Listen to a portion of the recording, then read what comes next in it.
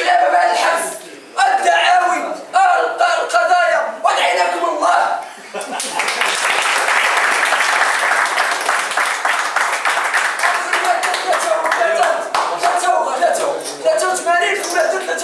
من من من القانون التنظيمي اول حاجة بادي بها المشرع اول حاجة بادي بها المشرع هو تزويد المواطنين بالماء الصالح للشرب والكهرباء ومن ثم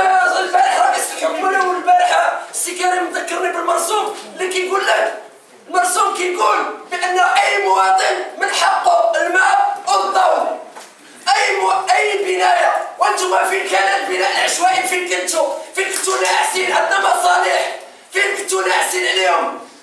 الب- والبارح راه 13 13 مره كانت زادت 13 مره كانت زادت من نقول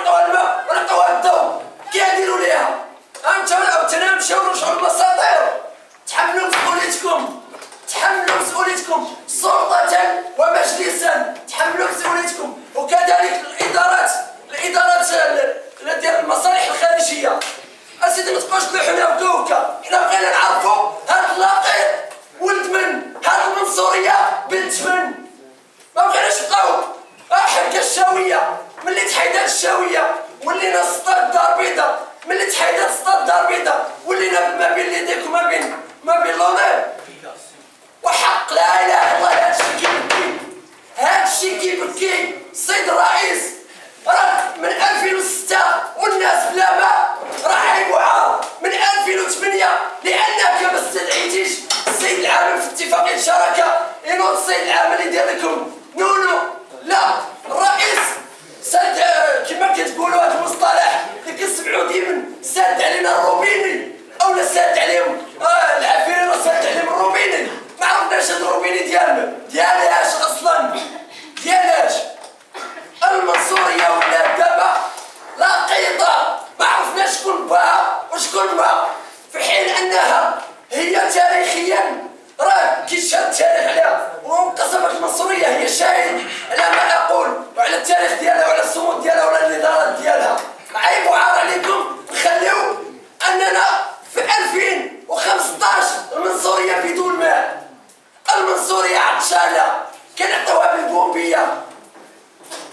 الله ياخذ الحق كما كان سباب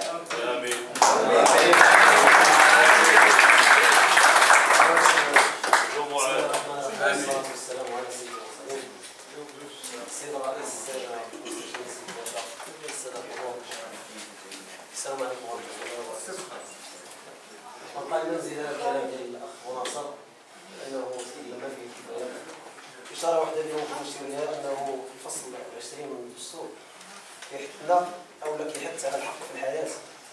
هو أول الحقوق. الحق في الحياة هو الحقوق لكل إنسان. وزيد على ذلك يحمي القانون هذا الحق هذا القانون كيحمينا هذا حاجة المنصوريه القانون اللي قلبوا عليه باش يحمينا يحمينا من المصالح ديالنا. ويحمينا من الشيء اللي باغي حنا بس هي تكون كسلطة أو لف. جهة الله أعلم تكون الناس ضاغطين علينا حنا باش ما تكونش عندنا واحد الاستراتيجيه ديال السلطة. ديما تكون عندنا السلطة حاضره أولا تسيب البنيه العشوائيه ثانيا زيد عليه العشوائي اللي عندنا في الدوامر هذا نهضر على البلاصة اللي في المنطقة الكتابيه لها زيد على ذلك الناس اللي كتبني بناءات عشوائيه ولا كنقولوا حنا ما نقولوش بناءات هذه فيلات ما بقاش بناء عشوائي لأن العشوائي واحد اللي باغي يستقر اما اللي كيبني فيلا عندنا مشكله سوريا ما عندهمش قانون ونبداو نديروا السبه للناس أخرين اللي هما مضرورين. عندنا مشكلة حنا بغينا القانون يكون عندنا وبغينا اللي يحمينا. باش كنا نستافدوا من هذا البرامج أي برنامج جا؟ أي برنامج جا؟ نص عليه سيدنا وعطاه لينا نستافدوا منه. بالقانون. ما باغينش شي حاجة أخرى. ما كنطالبش شي حاجة أخرى. هذا هو اللي كنطالبوا المنصوريه فيها تسيب قانوني. ما نقولش قانوني حقاش ما كاينش فاصل كنسعي فيها تسيب السلطة ما دايرش الدور ديالها. وكنقول هذه الكلمة وكنتحمل المسؤولية ديالها. بأي معنى من المعاني. حنا ممكن أننا نتعاونوا مع هذه الناس.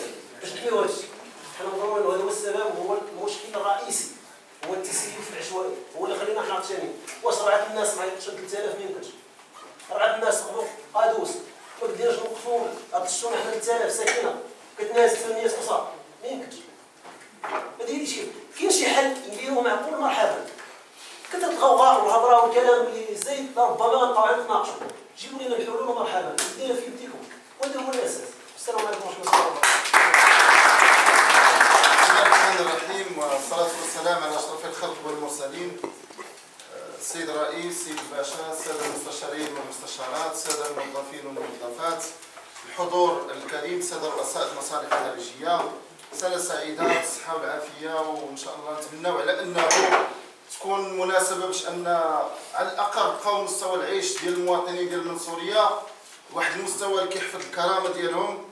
للأسف الشديد اولا كنحيي الروح ديال السي عبد العالي بوناصر والصدق ديالو والقلب ديالو في الدفاع على المشاكل ديال الناس ربما قرب المواط... قرب السادة المسؤولين والممثلين من الواقع الصعب اللي كتعيشو الساكنه ديال المنصوريه والسي يونس المعز. وهنا السيد الرئيس نود أن نستحضر خارطة الطريق اللي اللي البلاد كتشرع فيها واللي البلاد فيها كتدبر الأمور ديالها اللي هي الخطب ديال صاحب الجلالة الملك محمد السادس نصره الله. ونستحضر خطاب افتتاح السنة التشريعية ديال 2013 بحيث أن جلالة الملك حمل مباشرة رؤساء المجالس الجماعية الحضرية والقروية والمجالس المنتخبة مسؤوليات تدبير الماء والكهرباء والطرق. وقال بأن هذه المشاكل لا تتحملها الحكومة وهذه المشاكل لا يمكن لنا كمجالس سواء كنا أغلبية أو معارضة. حتى إحنا ما نقولش المعارضه ربما إحنا كنمثل فريق الأفكار البديلة. معارضة ما كايناش مجال جماعيه علينا أن نتحمل مسؤوليتنا. حنا اللي كنتحملوا مسؤولية. ما خصنا شيء